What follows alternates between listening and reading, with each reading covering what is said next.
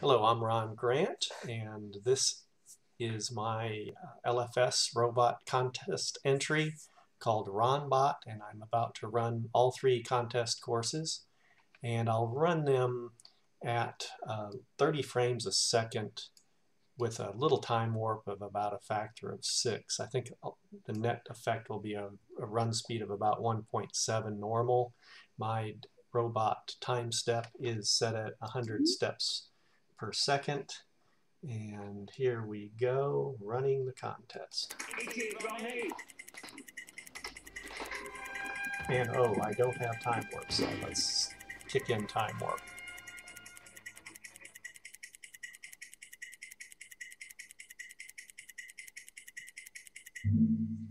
Okay, there's the novice time at 19.109 seconds. Now I'll advance to the advanced contest. Whoops, after making my report. So I'll advance to the advanced contest course. Click on start, leaving time warp set, and I'll run once again. And let's see if this is going to be successful.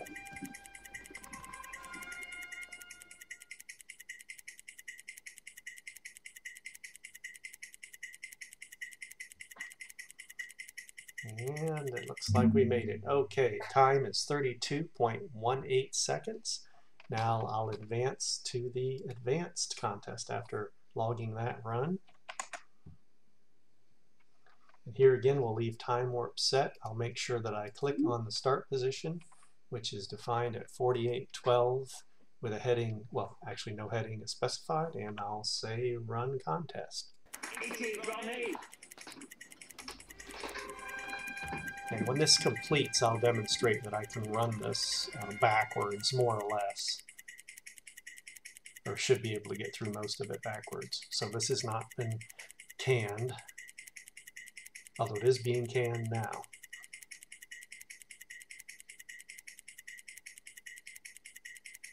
Looks like we're going to make it, hopefully.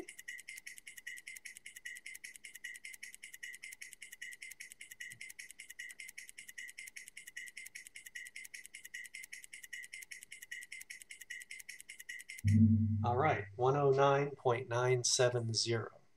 And okay, so I'll move myself out of the way here a bit. And I'll drop a marker pretty near the start. Let's see, oh, I'll make the report first. Okay, report that run. Okay, now I'll come in here. Oops, click on the right screen. And I'll drop a marker right here. And now I'll go ahead and click the robot onto that marker and then we'll run it backwards. And I'll run it, uh, I guess I'll run it as a contest also. Okay, I'll fish it out of the loop here. Oh, and it made it out of the loop. I thought I was going to need to, to rescue it.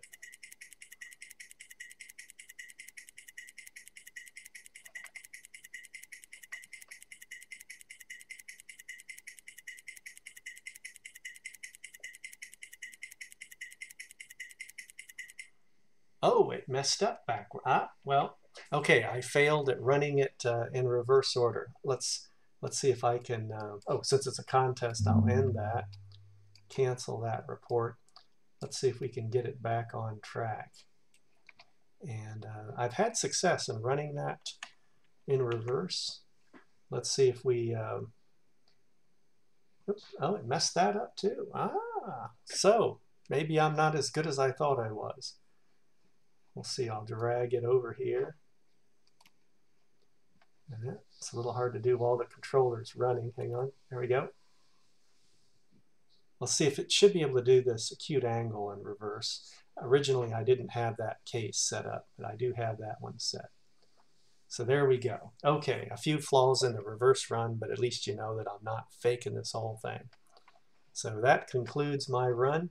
And just in case anyone does want to see it, what I'll do is I'll go ahead and run this now in uh, non non time warp uh, mode. And it will run a bit slower than normal. So you may want to just stop this recording now but just for fun I'll let you see my robot run in um, well that would be one third normal speed. That's pretty slow. But um, let's see if we can tolerate that. Yeah, that may be painful to watch. I'm not sure I want to watch it. Um, let's see, we're running, what can we do with that? Tell you what, I'll stop the program. Let me do that.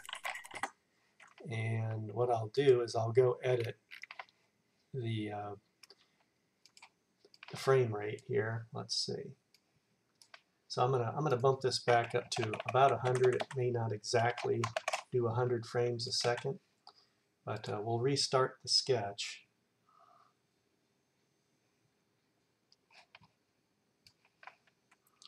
And let's see, so now we're running at 90. Okay, that's more tolerable.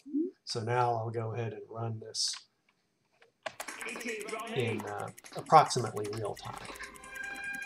So probably took less time to do that than to wait for the thing to run at that speed. And again, this is optional if you really want to watch this.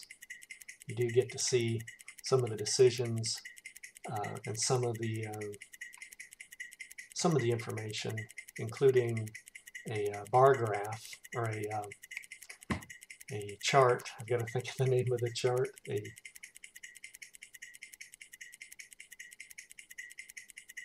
here we go. Oh, yeah, we messed up. Ah. How interesting.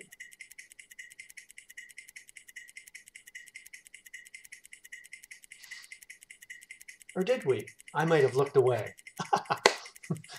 I can't even tell you now. Maybe it did just fine.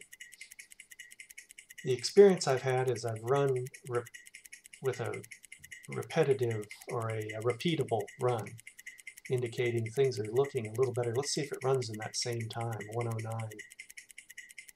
Oh, yeah, it did. Okay, so it stopped at its original start marker. It didn't uh, pay attention to that other marker. So that looks pretty good. Okay, so that worked, and I'll report that. Okay, that concludes my presentation.